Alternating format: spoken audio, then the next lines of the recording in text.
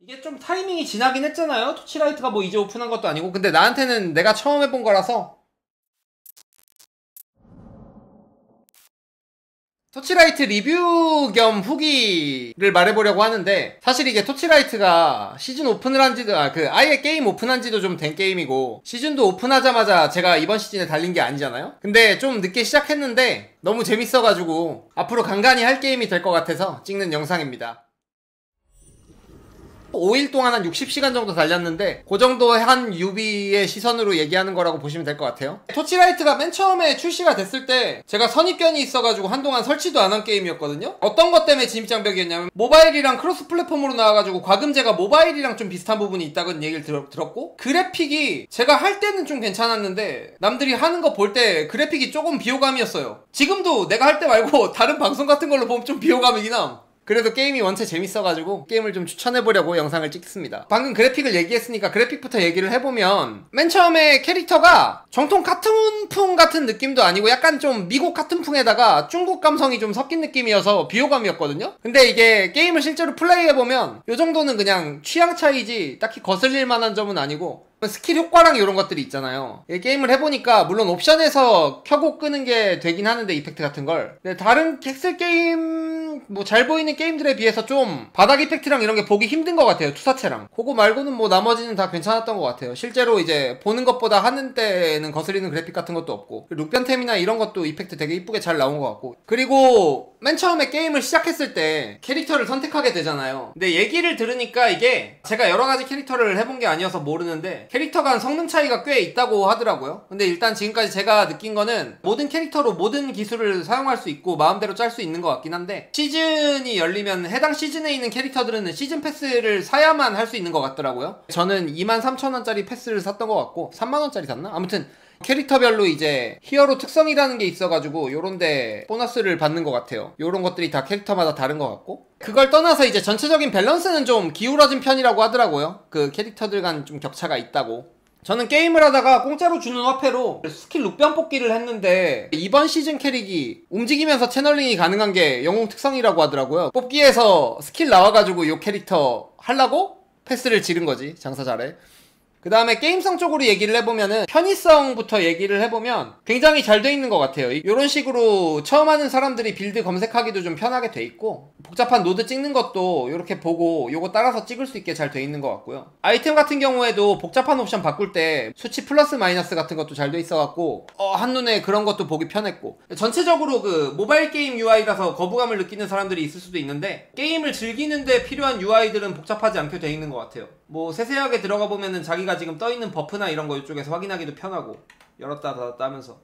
스킬칸도 뭐 그냥 보기 편하게 돼 있고. 거래소도 잘 돼 있더라고요. PC게임이나 MMORPG 거래소랑 비교를 해도 잘 돼 있는 것 같아요. 이제 여기에서 자기가 검색한 게 음향 처리가 돼가지고 그게 검색할 때 좀 불편하긴 하거든요. 요런 데에서 가격이 88원 이하인 거를 검색하면은 다른 게 제외되는 게 아니고 음향 처리가 돼가지고 내가 된 것만 밝게 나오는데 그거는 이제 아마 매크로 생각해가지고 그렇게 만든 것 같아요 그런 거 제외하면 되게 경매장도 잘 만들어져 있고 게임하면서 보기 전혀 불편하지 않은 UI였고 일단 요게 메인 컨텐츠거든요. 이렇게 해가지고 난이도가 이렇게 돼 있는데 저는 지금 여기까지 진입한 상태고 쉽게 말하면 Path of Exile mapping 시스템이에요. 요게 메인 컨텐츠가 되는 거고 요 맵을 돌다가 이제 그 컨텐츠별로 지난 시즌에 있는 것도 즐길 수가 있게 돼 있더라고요 어, 제가 지금까지 하기로는 1단계부터 7단계, 여기 7단계 깰 때까지는 newbie들도 아무 도움 없이 하기 쉬울 정도로 해가지고 요 구간에서 성장체감이 엄청 좋아요. farming 하나 할 때마다 엄청 캐릭이 세지고 이래가지고 정신없이 그냥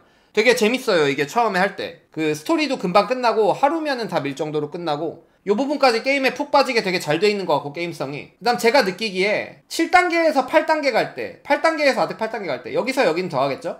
요 부분이 파밍이 이제 뉴비가 느끼기에는 좀 빡셌어요. 근데 또 반대로 파밍할 게 많고 성장체감 느낄 부분이 많아가지고 그 부분이 또 재미로 다가오는 사람들도 있을 것 같긴 해요. 근데 이제 끝까지 좀 쉽게 가는 게임은 아니고 점점 빡세지긴 한다. 이렇게 생각을 하시면 될 것 같고 어 제가 느끼기에 7단계에 들어왔을 때 아이템 drop이랑 화폐 drop 같은 게 확 늘어나서 엄청 재밌었고 사냥하는 때 느끼는 거는요 사냥할 때 생각보다 이게 시원시원하고 재밌어요 게임이 그러니까 모바일이랑 cross platform 지원하는 게임이면 선입견을 갖고 들어올 수 있잖아요. 저 같은 경우에는 그 선입견을 처음 깨준 게임이 언디셈버였거든요. 이게 언디셈버가 지금은 좀 약간 좀 요단강 건넜다는 평가도 많고 그렇긴 한데 저는 게임 자체는 엄청 잘 만들었다고 생각을 해가지고 그때 좀 선입견이 깨진 편이었는데 이 게임도 굉장히 전투할 때 시원시원하게 달리는 느낌이나 타격감이나 이런 게 괜찮았던 것 같아요. 그래픽도 뭐 거부감 크게 없고. 요거는 cross platform이라 가능한 편의성일 수도 있는데 물론 디아블로에서 패드를 쓰면 되고 뭐 이런 것도 있긴 하지만 기본 설정으로 A 버튼을 누르면 주변에 있는 아이템이 다 주어지는 게 진짜 편해요. 핵슬을 하다 보면. 제가 POE 할 때 아이템 줍는다고 마우스 왼쪽 버튼 제가 또 로지텍 9, 9 시리즈 쓰거든요. 얘가 마우스 버튼이 되게 약하잖아. 그래갖고 POE 한 시즌 하는 동안 마우스 두 번 바꾼 적도 있어요, 제가. 그래가지고 그런 쪽에서 굉장히 편하고 자동 looting도 어느 정도 지원을 해가지고 전부 다 자동 looting은 아닌데 그것도 되게 편했고요. 그래가지고 요런 장점들이 좀 크게 다가와서 저는 게임성이랑 편의성 쪽에는 되게 높게 평가해요, 요 게임을. 앞에서 말한 것 중에 시즌 컨텐츠를 좀 얘기를 해보면 POE랑 디아블로를 예로 들어보면 POE 같은 경우에는 지난 시즌에 있던 farming 컨텐츠가 뭐 이게 괜찮은 것 같다 싶으면 계속 가는 것도 있고 좀 on off 느낌으로 가잖아요. 디아블로 같은 경우에는 시즌 컨텐츠가 애지간하면 다음으로 온전하게 안 넘어가는 편이고 그런 식으로 돼 있는데 요거 같은 경우에는 이제 과금이랑 연동된 거라서 뒷부분에 얘기를 할 건데 요 시즌 컨텐츠가 아마도 너무 고효율인 게 조금 nerf돼서 넘어오는 건 있을지언정 아예 없어지진 않는 것 같아요 다음 시즌에도 이제 지난 시즌에 못해본 컨텐츠 해볼 수 있고 내가 그 시즌에 좋은 펫을 뽑았는데 다음 시즌에도 그 효과를 누릴 수 있고 뭐 이런 식으로 가는 것 같더라고요. 이번 시즌 컨텐츠를 예로 들어보면은 그림을 그려가지고 어떤 던전에 입장을 해서 거기에서 보상을 얻는 건데 좀 호불호가 갈리는데 흐름 끊긴다고 싫어하시는 분들도 있고 근데 저는 요 컨텐츠가 엄청 재밌어가지고 요 컨텐츠의 효율을 높여주는 펫뽑기까지 해가지고 되게 재밌게 즐기고 있어요. 방금 펫뽑기를 얘기했으니까 과금 얘기를 좀 자세하게 해볼 건데 토치라이트를 제가 처음, 처음 시작하려고 그럴 때 가장 큰 진입장벽이 됐던 부분이거든요. 완전히 모바일 과금 시스템인데 좀 긍정적인 부분도 있으니까 들어봐요. 요런 식으로 해가지고 펫을 뽑는 거야. 이게 천장이 있어요. 할인율 적용된 패키지로 샀을 때 79,000원에 45뽑 정도 줬거든요. 제 기억에. 이번 시즌에서 파는 걸로. 그래갖고 제가 딱 그거만 해봤단 말이에요. 근데 45번 뽑으면은 운 좋으면은 한 번에 바로 전설 나올 수도 있는 거긴 한데 저 같은 경우에는 운이 좀 좋은 편이어서 45뽑으로 요거를 하나를 뽑았어요. 그리고 다른 전설 펫도 두 개를 뽑았고 여기에 자세히 보면은 뽑을 때마다 천천히 이렇게 확률이 올라가요. 그래가지고 천장을 칠 수가 있어. 조금씩 늘어나는 확률이 100%도 다시 반드시 레전드가 뽑혀요. 그러니까 결국 뽑긴 해. 계속 박으면. 끝까지 가면 다 이기는 시스템이긴 한데 돈이 많이 들죠. 그래가지고 좀 비싸다고 느낄 수도 있는 것 같아요. 기본적으로 얘기 들어보니까 정령 똑같은 걸 6개를 뽑으면은 풀강이 된단 말이에요. 한 시즌에 평균적인 운으로 60에서 80 정도 지르는 것 같고 지금 제 정도로 하면은 한 시즌에 한 7만원 정도 지르면은 한 마리는 뽑는 것 같아요. 강화를 안 하고 그냥 그 정령 효과를 볼 정도로. 근데 그 정도만 해도 게임을 충분히 즐길 수는 있는데 여기에서 내가 얘기하고 싶은 게 뭐냐면 모바일 게임으로 따지면 BM을 되게 잘 만들어 놓은 건데 그냥 파밍을 해도 되게 재밌다? 근데 어느 순간 이제 이런 게임을 하다 보면 되게 빨리 성장하고 싶잖아요. 그럼 슬슬 재화를 더 벌고 싶고 그래가지고 요런 게 조금 뽑고 싶어져. 그리고 제가 지금 한 장을 뽑은 상태잖아요? 한 장을 뽑고 써보니까 6강까지 하고 싶어져. 그렇게 생각을 하면 좀 위험한 과금이긴 한데 여기에서 이제 또 긍정적인 부분을 본다면 뭐냐면 모바일 게임들을 보면은 그냥 재화를 돈 주고 살 수 있는 경우가 많잖아요. 근데 요 게임에선 일단 뭐 아무개 루트로 그런 거 하시는 분들은 있겠지만 게임사에서 그런 거 절대로 안 된다고 써놓기도 했고 로그인할 때 보면. 요 과금 시스템이 어느 정도 페이투인이 아니라고 볼 순 없지만 그래도 아예 그냥 재화를 사는 게 아니고 내가 하는 노력의 효율을 높여준다는 형태로 생각을 하면은 좀 그래도 괜찮은 편이 아닌가. 그리고 내가 말한 건 지금까지 이제 드랍률 펫이라 그래가지고 파밍할 때 좋은 펫들이었고 스펙 자체를 높여주는 펫들도 있거든요. 그것 때문에 저도 맨 처음에 거부감이 있었어요. 그건 어느 어떻게 보면 페이투인이잖아 근데 생각보다 그렇게 거슬리진 않는 것 같아요. 실제로 해보면은 딜이 높아지는 pet을 끼는 것보다 farming률 높아지는 pet을 끼는 경우가 훨씬 많기도 하고. 그래가지고 BM 같은 경우에는 좀 deep하게 들어가면 꼬아질 수 있지만 그래도 지금까지 제가 느끼기에는 그냥 참고 할 만한 정도이다.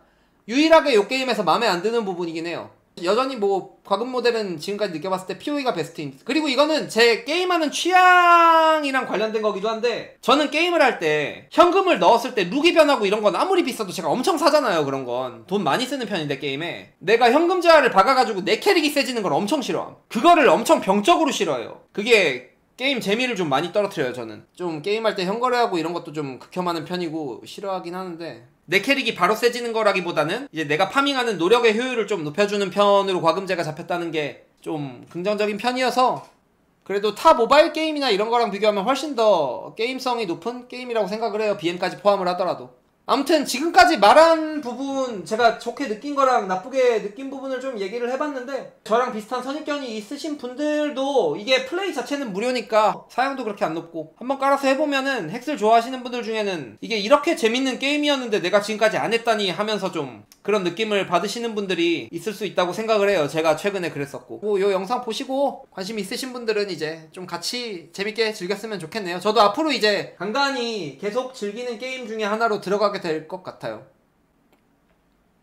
영상은 이 정도로 마치고 저는 이제 파밍 하러 가야 되니까 가볼게요. 시청해주셔서 감사합니다.